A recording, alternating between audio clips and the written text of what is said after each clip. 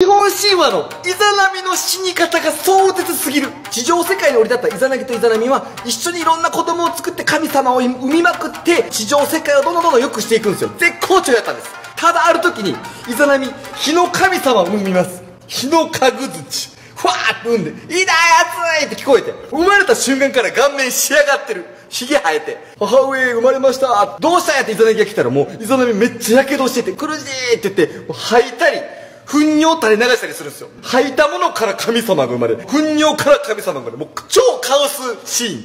ほんでイザナミが「あんた国作り途中でできへんくなってごめんね」って死んじゃうんすよ。でイザナギはぶっちぎれてその生まれたての日の数の首をスパーンって切る。